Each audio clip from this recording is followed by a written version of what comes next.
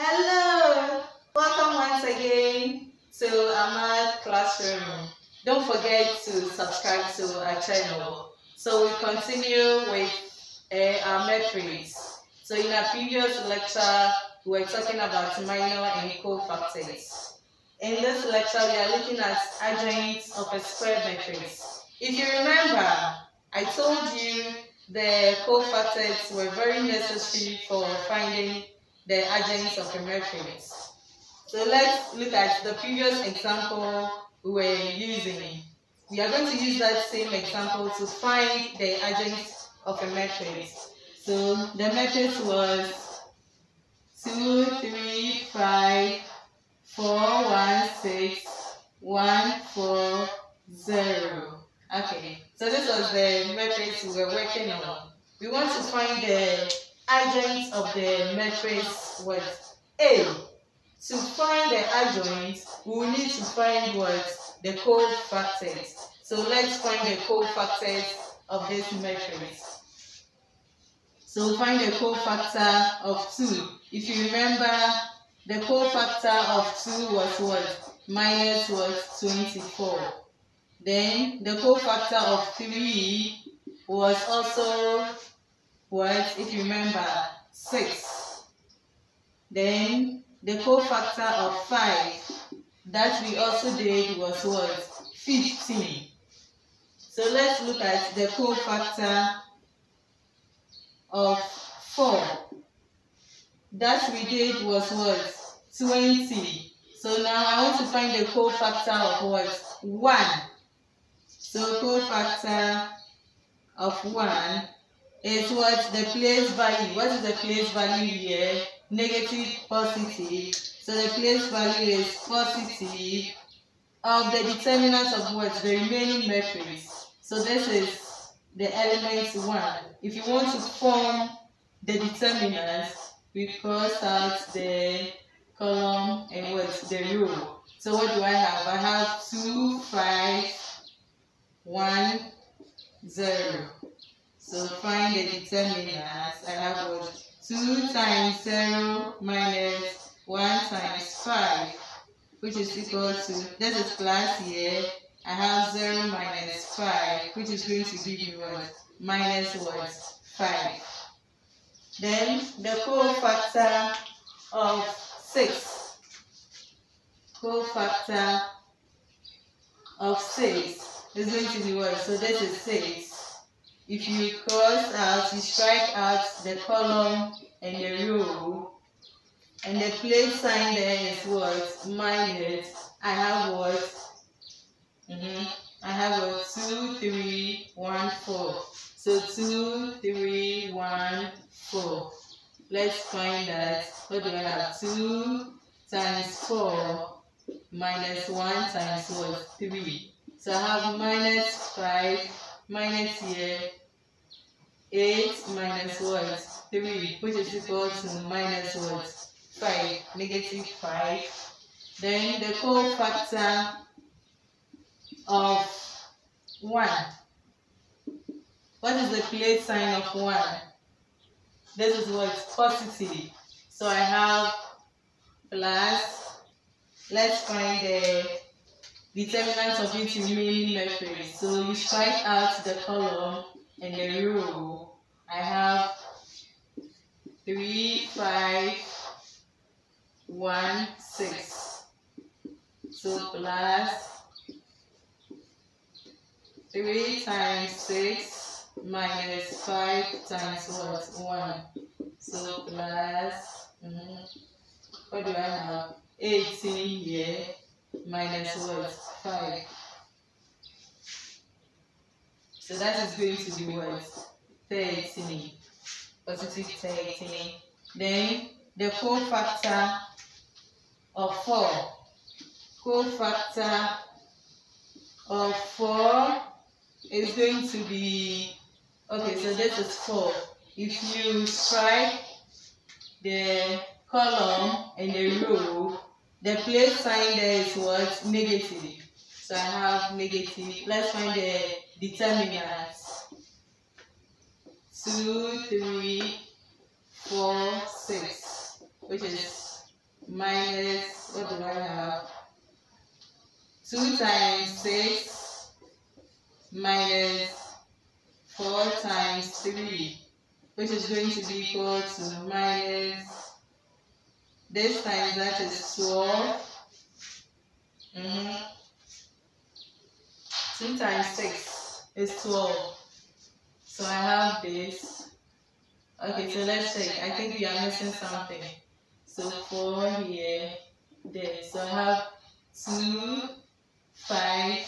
Okay, so it's 2, 5. Yes, so 2, 5, 4, 6.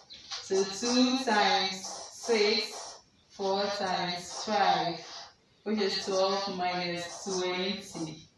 This is going to give us minus minus what? 8. Which is going to be what? Negative and negative is going to be what? Positive. So I have what? Positive what? 8. Now the last one, the cofactor of 0. So let's find the cofactor of 0. Where do I write it? Okay. So the cofactor of 1 here is what? Minus what? 5. So let me clean this and write minus 5.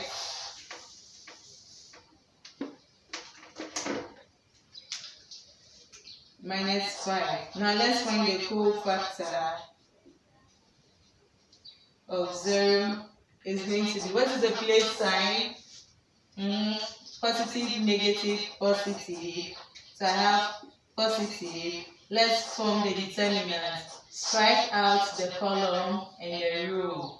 So I have 2, 3, 4, 1, which is equal to plus 2 times 1 minus 4 times 3, which is equal to what? Negative 10. So now I have been able to find the cofactors of what? Each element. So I can write the matrix. So let me write the matrix B, which is the cofactors of our initial matrix A, which is going to be the cofactor of 2 was negative 24, that of 3 was 6, 5 was what? 15. Then for 4 it was what? 20. Then that of 1 here was what? Minus 5. Then that of 1 was also what? Minus 5. Minus 5. Then that of 6 was minus 5. Then 1 here was 13. 4 here was 8. Then 0 here was what? Minus 10. Okay, so this is our new matrix. And this new matrix is the cofactors of what? The matrix what? A. Now let's take the transpose of the matrix, our new matrix B. I hope you still remember our transpose. So transpose is B, T is going to be what? Now all rows becomes what? Our new column. So my new, my first row becomes what? My first column. So I have minus 24, 6, 15. Second row becomes my second column. So 20 minus 5 minus 5. Then the third row is what? 13, 8, 10. Okay, so I don't know if you can see. So we had the matrix was A. Our initial matrix was what? A. Then we formed a new matrix which was the cofactors of the matrix A. And that is what the matrix was B. Then what again did we do? We find the transpose of our new matrix, which is this, giving us what this. So the matrix, now our matrix B, C, which is a transpose, is called the adjoint of the matrix A. So in all, all we are saying is if I want to find the adjoint of a square matrix A, if I want to find the adjoint of a square matrix A, then the first thing I need to do is form form matrix B of cofactors A. Then the second is what? Write the transpose of B. Write the transpose of B, which is B exponent what? C. So now this becomes what? The adjoint of the matrix. I hope we have it right. So we have A find the cofactors of A, get a new matrix. With the new matrix, find the transpose of that new matrix, and that becomes what? Your adjoint of the matrix. Thank you so much. So the adjoint is going to be helpful to form the inverse of the matrix, which is going to be our next lecture. Thank you. Don't forget to subscribe. Bye.